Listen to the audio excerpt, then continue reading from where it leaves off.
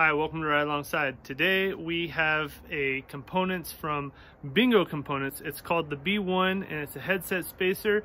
You're gonna love this. I can't believe nobody thought of it sooner. Here we go. All right, so let me show you the problem that many of us face. I know it's not just myself. If you wanna use one of these feed bags on here, uh, traditionally this strap here would go around your handlebars, right? So that's that's kind of easy. It takes up some some room on your handlebars for GPS and lights and other accessories that you might want to run. And then you strap this part here down onto the fork crown and that's pretty easy to do. And yeah, watch out for cables and you have to make it the right length and make sure you have enough excess, not too much. You don't want it to be flopping around. That's the whole point of the uh, strap down here. And if you guys haven't used feed bags before, uh, trust me when I say that they're probably one of the first bikepacking bags you should get for your bike. Uh, I've tried all of the different bikepacking bags really, and this one's probably the first besides a maybe a tool roll to carry your tools on a normal ride. But this time of year in beginning of December or late November, sometime in there, these feed bags come into play uh, on my normal rides. And the reason being is that I can put an extra layer in here. I can put my water bottles here and run a frame bag to put uh, coffee outside stuff in or uh, I can just uh, keep my bottles warm in here because it's insulated. Sometimes my bottles will freeze depending on the temperature, but really you just need to bring extra gear in the uh, colder months because uh, it's a little bit more unpredictable whether you start out early or you uh, stay out late. So then this piece here, uh, there's a couple different spots where you can put it.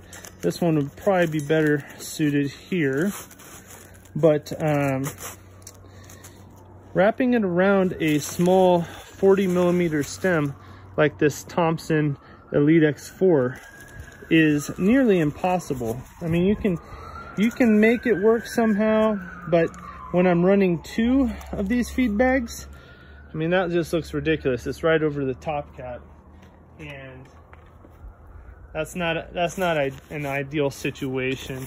And when I run two, I often have to run this piece of uh, Onewrap through the uh, each loop on each bag and just use one piece. And that is just really hard to snug them up correctly to do so.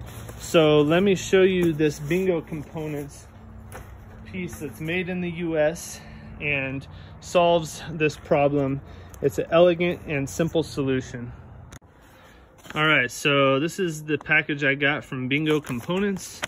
And first thing off the bat, I love that they have the stamp. They stamp it all over in all the different directions.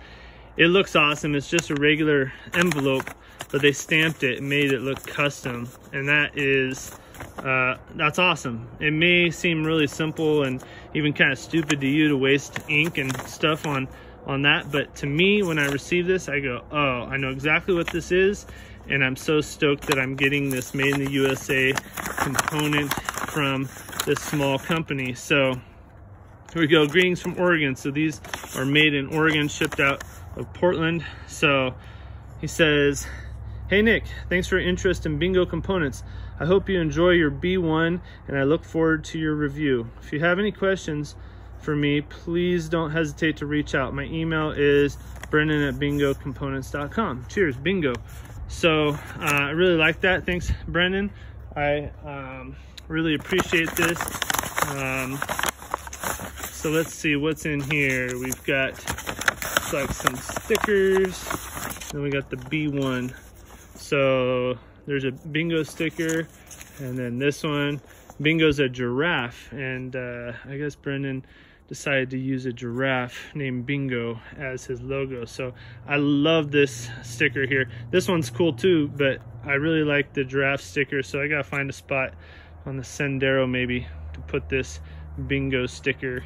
So let's actually get into the components. So here's the packaging. It's nice. It's uh, got retail packaging, right?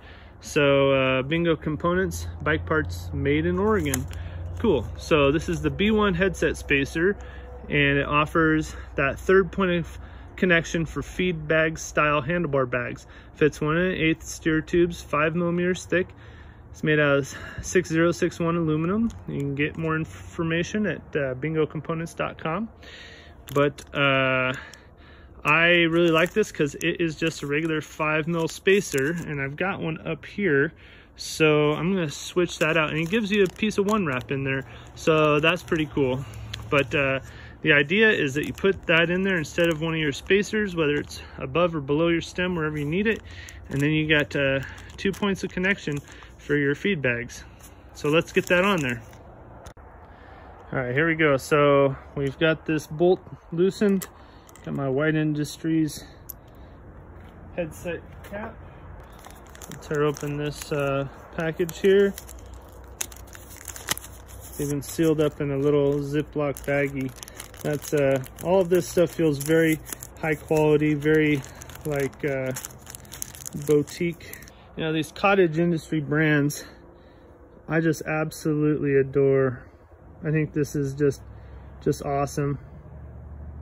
Uh, so that's the, the headset spacer. So take this one off and you know, there's a comparison between my old headset spacer and this uh, Bingo Components B1. Throw the top cap back on. All right, so right away I'm seeing that there could potentially be a problem with using it as a top cap or right below your stem, and that is that these uh, spaces here are going to be blocked by your stem a little bit. So let's uh, see how that works. All right, so I just test fit it and you can actually get that up through there, no problem. I have it centered uh, there on the stem. So it should be equal on both sides. And just like that, I can get that on there. It's real secure right next to my stem to get nice and tight on there. But yeah, I'm gonna, I'm gonna cut it. Man, you don't need much Onewrap at all with that B1 that's great. You don't have to wrap it all the way around the stem. So uh, you can use less material there, uh, which is always a good thing to use less. And yeah, that feels real secure. So, um, and I don't even have it wrapped all the way around. I'd wrap it all the way around and uh, once I cut it and then have that secure. So let's see what that looks like once I get both of these feed bags on there.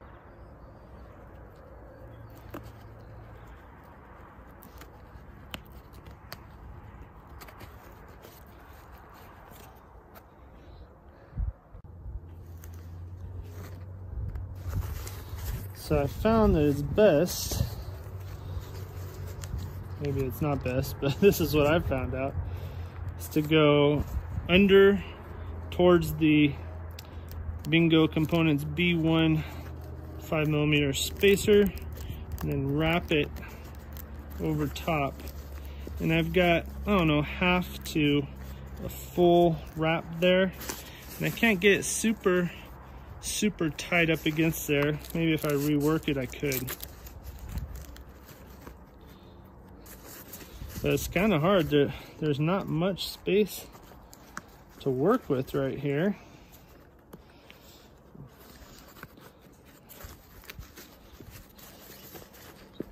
Yeah, that's that's just as tight or tighter than uh, it would be with just it wrapping around the stem. So there we go. Here's a last look at the uh, Bingo B1 headset spacer and how it looks with both bags attached. I love it. What a great idea, Brendon. Excellent job, man. All right, so that is the Bingo Components B1 headset spacer. I hope you guys are excited as much as I am about this product. I really can't believe nobody thought about this sooner. Brendon, genius idea, man. Uh, can't wait to uh, ride with my stem bags everywhere and bring all kinds of gear with me. Uh, water bottles, snacks, extra layers, uh, all kinds of things. So I'm Nick from Ride Alongside. Thanks so much for watching. We'll have more videos for you real soon.